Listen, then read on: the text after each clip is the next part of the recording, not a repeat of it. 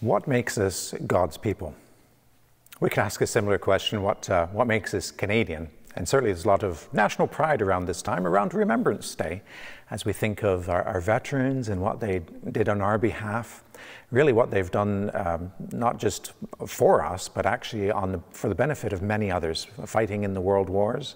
Of course, Korea, we can think of peacekeeping missions. Uh, just our veterans have, have done so much really for, for other nations as well as for ourselves. So, so, we have some national pride when it comes to thinking of the Canadian military and our veterans.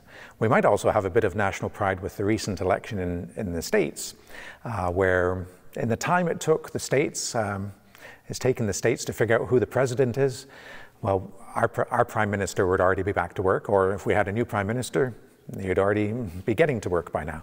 Uh, so we might have a bit of national pride about our, our simpler uh, political system, it would seem.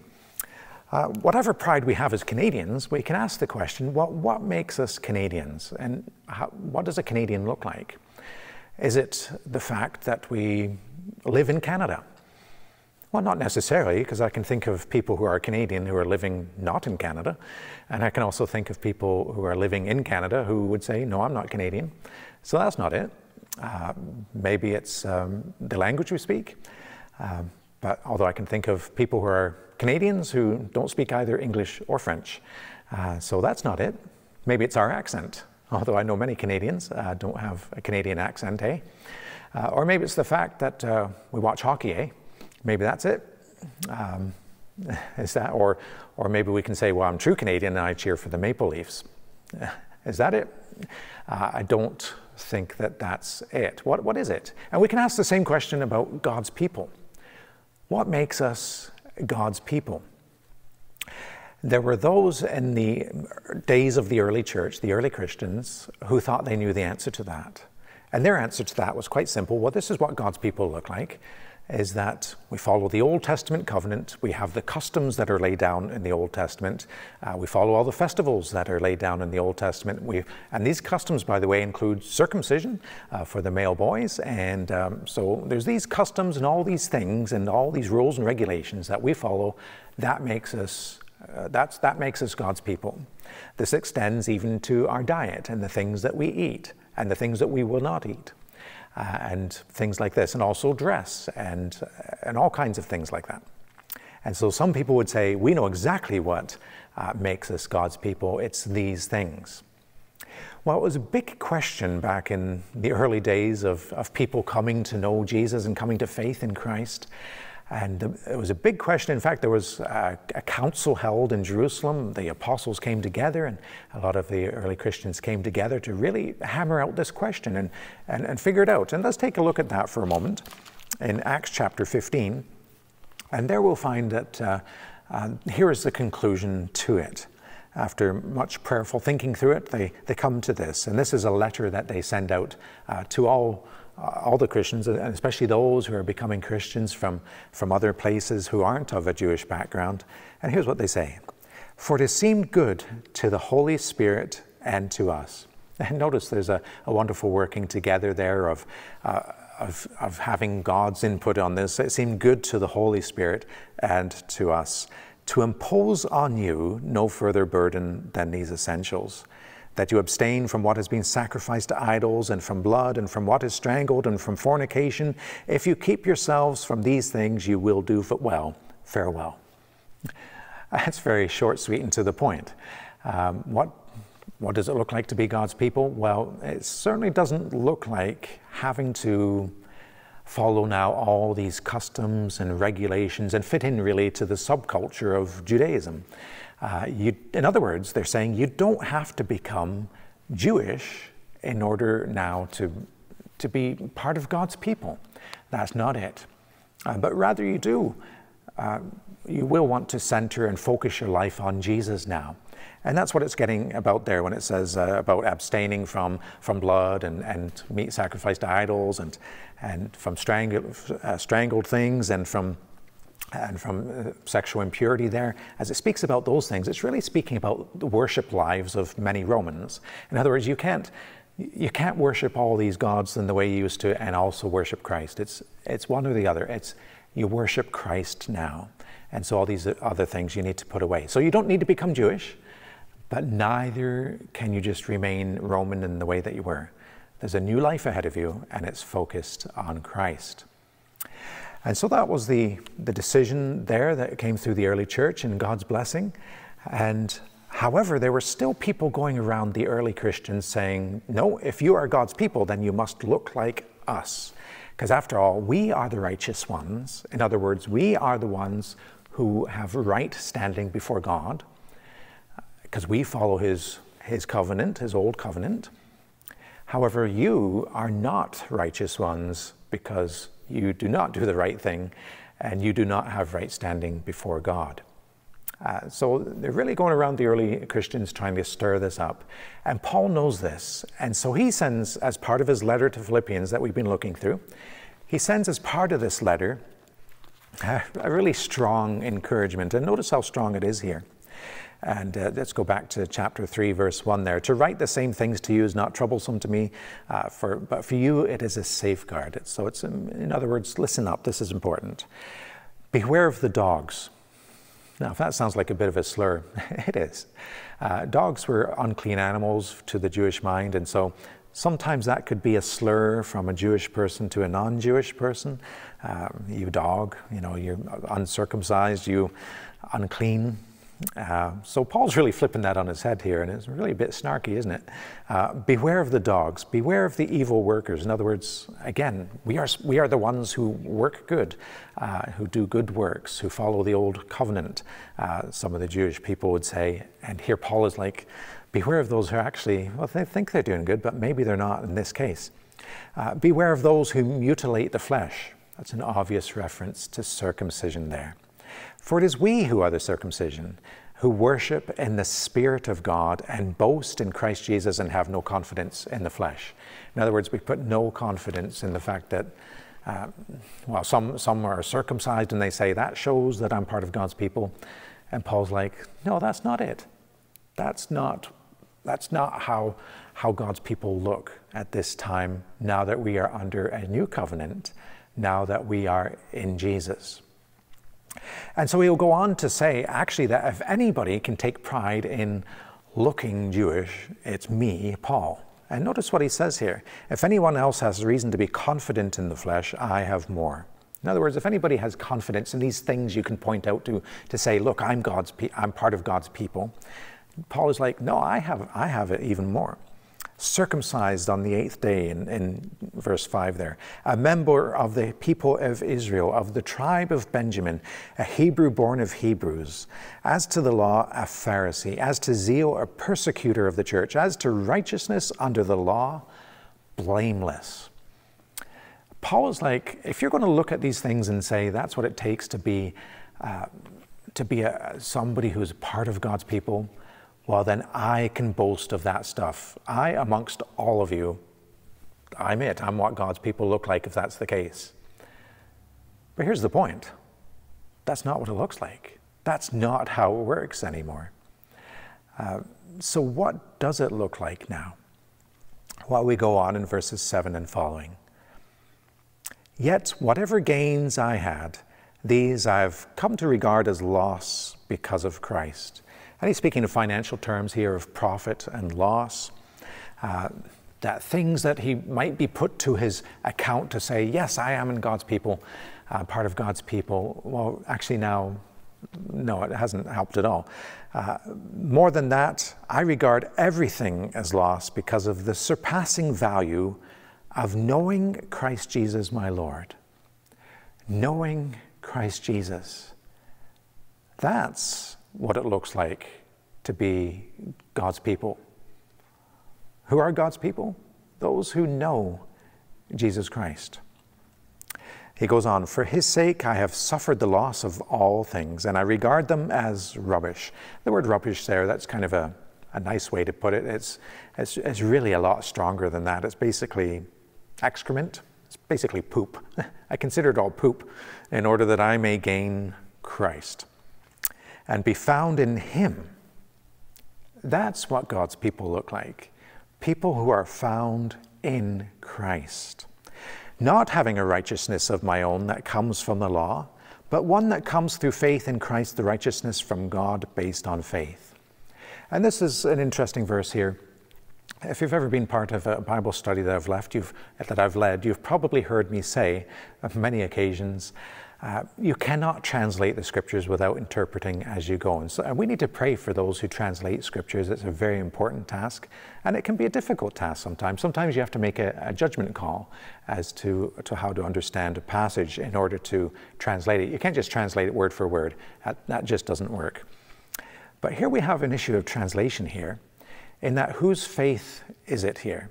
And we typically, sometimes we come at it with our theology already built, and therefore we interpret uh, according to where our theology ra- is, rather than actually looking at the scripture and being open to, to what it actually means. So, verse 9 here, and be found in him, not having a righteousness of my own that comes from the law, but one that comes through faith in Christ.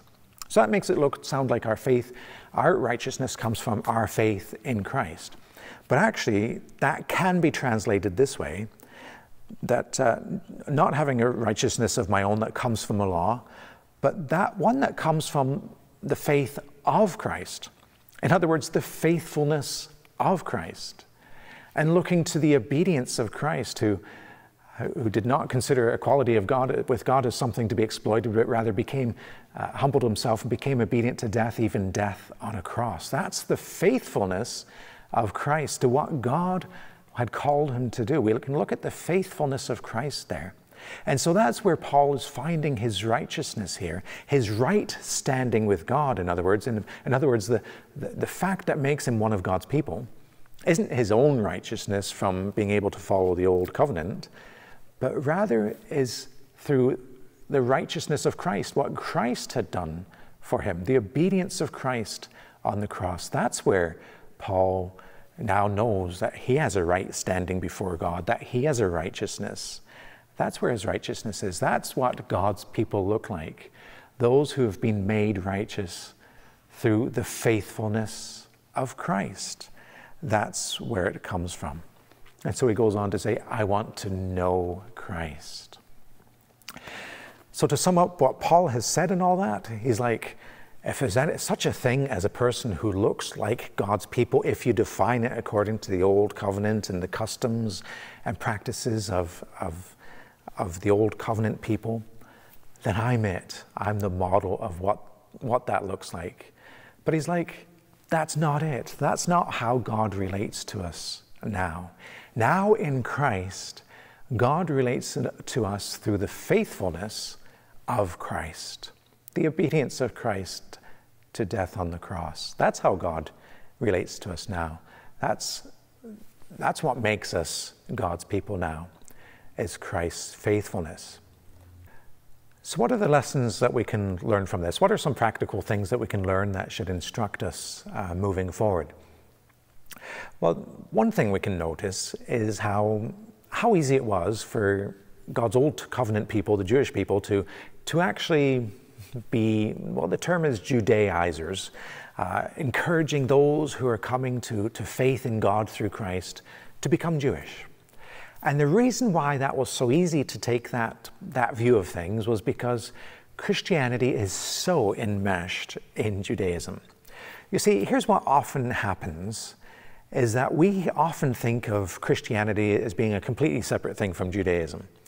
Uh, we, we sometimes even think of it as plan B, as if God tried plan A with the Jewish people and that didn't work out so well. So let's go to plan B, let's send Jesus and we'll do it differently. That's not it at all. Jesus Christ and, and all that has come from Jesus and the new covenant, that's not plan B. That's the continuation of plan A. And so those coming to, to faith in Jesus from the Jewish perspective, they could see that. And so how easy it was for them to say, well, okay, now that this is open for non Jewish people to become uh, to come to God through Jesus Christ. Okay, that's fine. They come to us, they come under our umbrella of Judaism because it's just an extenuation. Uh, this is God fulfilling the promises He made to us, all the hopes and dreams that He instilled in us in the Old Covenant, in the, in the Old Testament. Uh, all, all of that has come about through Jesus now. So it really is a continuation. It's not a new religion that Jesus started, but rather this is the next step uh, that, that God has for us. So, so, how easy it was for them with the enmeshment of Judaism and Christianity together. And we, we sometimes have uh, do a, a, bad thing in, in, splitting the two apart, wide apart, and saying that, um, that, that Christianity is really a new religion. It was not. It's the continuation, actually, of of the Jewish program. And so, so the Old Testament is very, very important to us as Christians. And it's really, really bad when we say things like, Mm, don't like the Old Testament God who was cruel, but we do like the New Testament God who was kind. Ah, that is, that is not a good reading of the Old Testament. Go, we need to go back and read it again and watch for the, the compassion of God in the Old Testament. Watch for the promises of God in the Old Testament that lead through to what happens in the New Testament and also lead to the great and wonderful things that happen in the Old Testament too. Uh, so we want to be careful that we don't try to split off Christianity and talk about it as a new religion, as if Christ founded it or as if the followers of Jesus founded Christianity. Not at all. It was the next step of plan A of what God was doing all along. So that's one thing. We want to keep that in mind. Well, here's the, the second lesson we might learn from this. And it's uh, just an interesting encouragement to, to, to think about how we do evangelism. There's a curious verse here, and maybe you picked up on it as, as it was read. And here's as Paul is saying how he's got the marks of God's people if you're looking at it as, as, as having all the good marks of being a, a good old covenant person. And here he says, I'm a persecutor of the church, as to righteousness under the law, blameless. Notice that? Blameless. Doesn't that make you kind of scratch your head and say, well, wait a minute, Paul? Didn't you say back in Romans chapter 3 that all have sinned and fallen short of the glory of God. And didn't you quote the Old Testament back in Romans chapter 3, which says, uh, There is no one righteous, no, not one? So aren't you included in that? And I think Paul, if we could speak to him, would say, Yes, absolutely, I'm included in that. That, yes, there, how, there is sin in my life, things like attitude, things like my character. Um, that, yeah, there is sin in my life. But when it comes to keeping the customs and the obligations and the rules that we find in the old covenant, as far as that stuff goes, actually, I was blameless. I did it great. I did it very well. And that's interesting.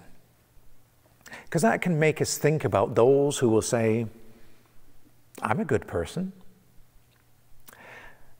And I don't know about you, but I've discovered that there are some people who do not claim to be Christians who live very good Christian lives. Have you noticed that?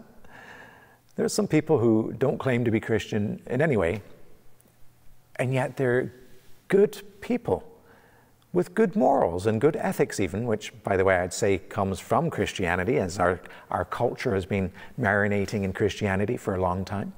So a lot of people pick up Christian ethics and values even without knowing they're doing it.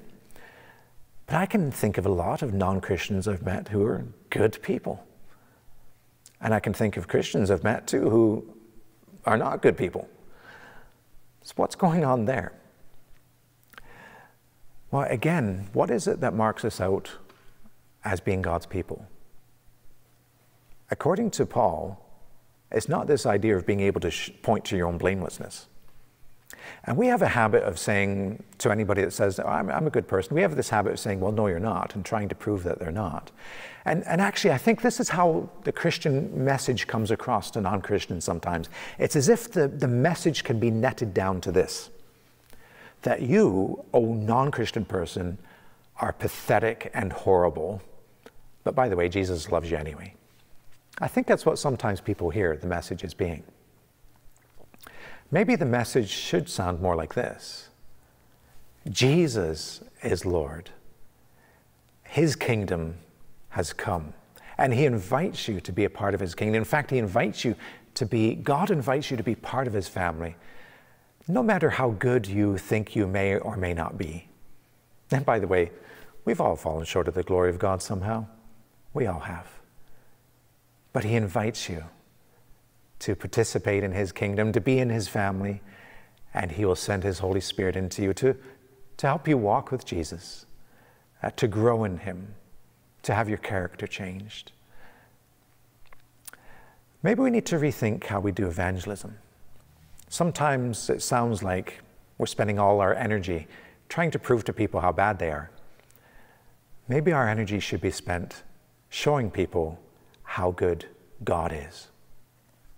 So that's the second thing is uh, it's a lesson there on evangelism, just picking up on that Paul saying, I'm blameless, and that's interesting. But here's the third thing.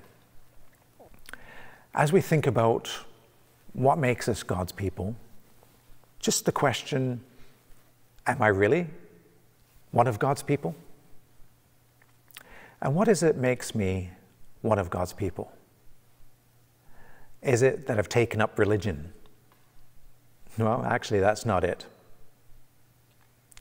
Is it that I've gone through the Bible, both Old Testament and New Testament, and figured out a lot of rules and I keep them well? Is that what makes me one of God's people? Well, again, Paul would say I would consider that to be rubbish. That's not it. Is it that I've looked at Christian subculture and I've been able to fit into it? So I've seen how Christians dress and I've started dressing that way. I've seen the kind of Christian, the haircuts Christians have, and I've got, I've, I've got my haircut the same. I've listened to how Christians talk, and now I'm talking the same way. I've looked at their customs, and I'm following their customs. Is that it? And by the way, which Christian subculture is it that you'd want to fit in with, if that is it? Indeed, that's not it either. All these things that we've just mentioned, it's all rubbish compared to knowing Jesus. It's rubbish compared to being found in Him. It's rubbish compared to having the righteousness of Christ, His faithfulness making us righteous. In other words, that we stand in the right place, that we stand amongst the people of God. Not because of us, but because of Jesus Christ. What makes, what makes us God's people? It's Jesus. Uh, do you belong to God's people?